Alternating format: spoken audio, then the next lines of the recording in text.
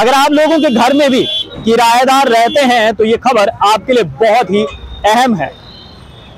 अगर आप लोगों ने भी अपने घर में किराएदार रेंट पर रखे हैं तो ये जानकारी आपके लिए बहुत ही अहम और खास है, क्योंकि अगर आप लोग इस जानकारी को अंत तक नहीं जानेंगे तो यकीन मानिए आप भी परेशानी में पड़ सकते हैं। दरअसल, चौदह एफआईआर जो है, वो इस समय पुलिस ने रजिस्टर करवाई है। जिन लोगों ने ये जानकारी पुलिस को नहीं दी है कि उन्होंने अपने अपने घरों पर किराएदार रखे हैं।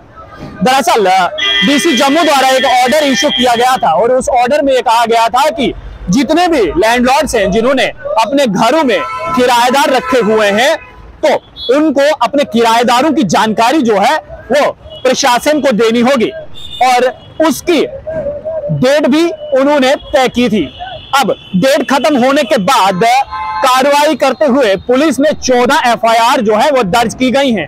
और इन 14 एफआईआर में आपको बता दूँ कि जानकारी के मुताबिक Nawabad police station, Mira Shah police station, Satwari Gandhinagar, Trikuta Nagar थाने गंग्याल और नवाबाद थाने में जो है ये 14 एफआईआर दर्ज की गई हैं।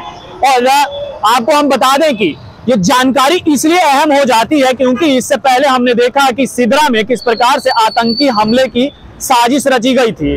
और दूसरा, सिदरा पुल के पास अगर हम बात करें तो वहाँ पर भी जो है, वो आतंकी हमले की साजिश की गई थी। इसी सबको मद्देनजर रखते हुए डिप्टी कमिश्नर जम्मू द्वारा एक ऑर्डर जो है, वो निकाला गया था इशू किया गया था कि तमाम वो लोग जिन्होंने अपने अपने घरों में किराएदार रखे हुए हैं, उनको उनकी जानकारी जो है वो प्रशासन को देनी होगी।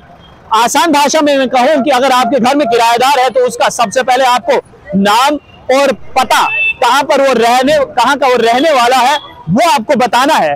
वो काम क्या करता है, ये भी आपको बताना है। उस फॉर्म में मेंशन आपको करना है और कब से वो आपके पास एज ए किराएदार रह रहा है, वो भी आपको उस फॉर्म में मेंशन करना है।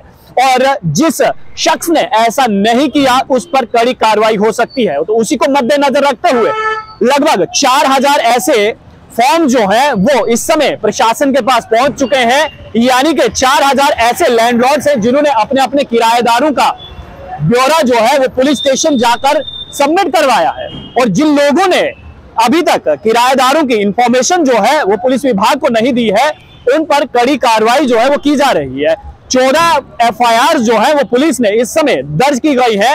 ये वो लोग हैं जिनके जिनके घर में किराएदार तो रहते हैं, लेकिन उन्होंने अपने किराएदारों की जो है वो इंफॉर्मेशन विभाग को, यानी कि पुलिस विभाग को नहीं दी है। ये जानकारी जो है ऑर्डर आने के बाद भी उन्होंने अभी तक इंफॉर्मेशन जो है नहीं दी है कि उनके पास किराएदार है और कितने किराएदार हैं, वो कब से रह रहे हैं और क्या क्या काम करते हैं। अगर आप लोगों के घर में भी, इसलिए मैंने शुरुआत में कहा था कि अगर आप लोगों के घर में भी कोई किराएदार है, आपने रखा है, कोई दिक्कत नहीं है, कोई परेशानी नहीं है। परेशानी उस समय है कि अगर आप लोगों ने उस किराएदार का ब्यौरा जो है, बायोडाटा जो है, नाम, एड्रेस और साथ ही साथ फ़ोन नंबर और वो क्या काम करता है, कहाँ पर काम करता है, अगर आप लोगों ने ये ब्यौरा जो है, वो एडमिनिस्ट्रेशन को नहीं दिया, विभाग को नहीं दिया तो आप पर भी कार्रवाई हो सकती है।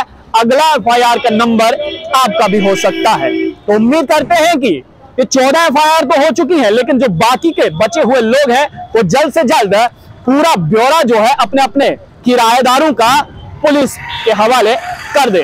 आप लोग देखते रहिए स्ट्रेट टॉक्स मुझे यानी देव ठाकुर को दीजिए इजाज़त। धन्यवाद।